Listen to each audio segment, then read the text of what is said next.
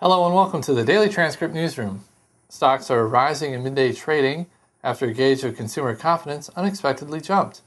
The Dow is up 67 points. The S&P 500 is up 7 points while the Nasdaq is up 15.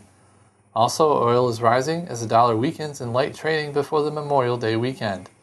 Crude oil for July delivery added 29 cents to $100.52 per barrel on the New York Mercantile Exchange. In local news, gas prices across Southern California dropped by about a dime during the past week, providing welcome relief to travelers fueling up before the Memorial Day holiday, according to the Automobile Club of Southern California. The average price of self-serve regular gasoline in San Diego is $4.05, a decrease of 10 cents from last week and 16 cents below last month. And Histogen, a regenerative medicine company, announced that David Nassif has joined the company as president and chief financial officer. For complete coverage of these stories and more, please check back here throughout the day. I'm Doug Sherwin, and thanks for clicking.